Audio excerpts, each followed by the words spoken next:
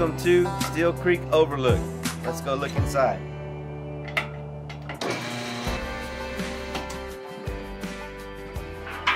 Come on in.